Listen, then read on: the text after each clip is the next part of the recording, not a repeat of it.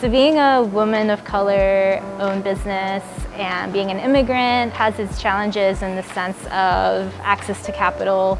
But at the same time, like we're really fortunate that we're in Durham. It has this entrepreneurial like spirit, a very gritty spirit too, which I love. There's also this like open arms community that has helped us thrive. Um, and without them, like you know, we're, we're one and the same. We, we need community in order to survive, and that, that's been very apparent in, during COVID.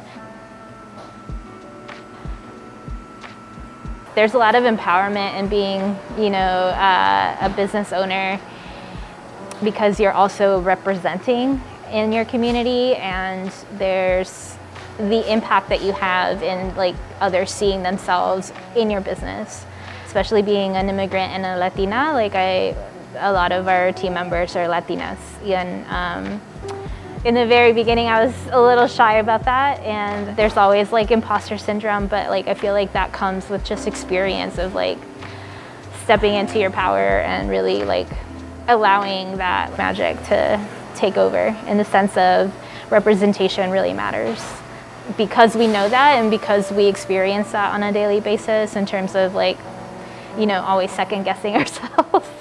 um, we see that in others and we want to uplift others. So, yeah.